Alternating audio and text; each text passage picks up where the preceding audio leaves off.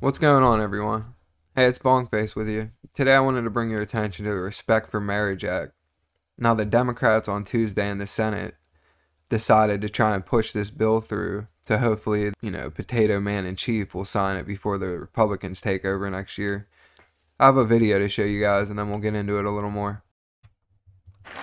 The Senate is passing the Respect for Marriage Act. Today, the long but inexorable march towards greater equality advances forward. No matter who you are or who you love, you too deserve dignity and equal treatment under the law. As the Chamber knows, this is personal to me, and the first people I will call when this bill passes will be my daughter and her wife. I want to thank Senator Baldwin, who's been the lead on this bill, Senator Sinema, who's worked so hard, Senator Portman, who's poured his heart and soul into it, and Senator Tillis in particular. But I also want to thank all of the Republicans who have supported this. I know that it has not been easy, but they've done the right thing. Now, would you look at them geriatric creatures that we have representing us? I mean, how old is too old to serve?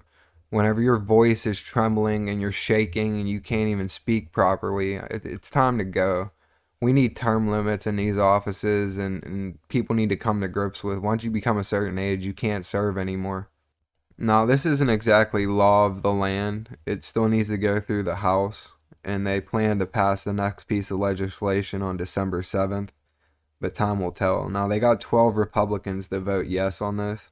It won a majority vote of 61 to 36 and the reason that this is all being brought up, like gay marriage is already legal, but they wanted to codify it to the land because Clarence Thomas, big bad Clarence, uh, came out, I think it was in June maybe, and said that privacy rights, including same sex, could be reconsidered next. So they're taking the, you know, preemptive measure here and trying to get out ahead of any Supreme Court ruling that would overturn gay marriage, which I don't think they will. I think that's kind of like suicide. The abortion thing was, I don't want to say safe, but it's definitely safer than gay marriage. Um, but like I said, this is all preemptive. They're trying to get ahead of this before the Republicans come into office. Now, of course, we had our rhinos, our typical line steppers, our people that switch sides all the time. And it always cracks me up that Democrats, no matter what, even when they know they're wrong, they never break rank they walk hand in glove. They say the same thing. They change the same definitions of the same word. So until we can all get on the same page as conservatives, Republicans, anything other than a Democrat, I, don't see us having the same, you know, chances or outcomes that they do. Twitter, of course, went crazy over this and people were going nuts, hashtagging everything about it. Well, the Department of Transportation secretary himself, Pete Buttigieg, happens to be gay. And he put out a little thread saying it's a strange feeling to see something as basic and as personal as the durability of your marriage come up for the debate on the Senate floor.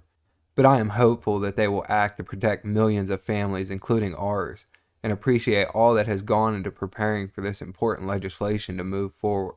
Now, of course, he feels a certain way because this affects him and his uh, lover there and their kids some other people were trying to like dunk on McConnell and whatnot because he's in an interracial marriage. But I'd say interracial marriage between a man and a woman is different between a man and a man because it's a you know actual union between two people that can have kids together. So just my thoughts on it.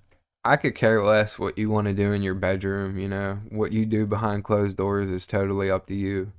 What I have a problem with is how they've been pushing it so hard into everything and movies, TV shows, every commercial you see now has to have a gay couple in it.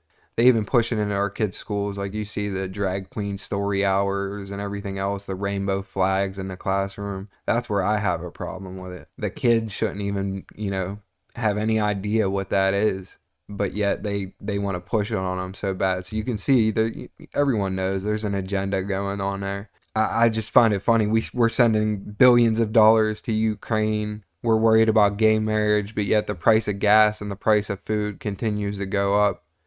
And you see where their priorities are. They care more about getting likes on Twitter than they do about taking care of the American people that actually put them in the position that they're in. So But anyways, it's Bongface, and I'm out of here. Oh yeah, I almost forgot. Let's go, Brandon.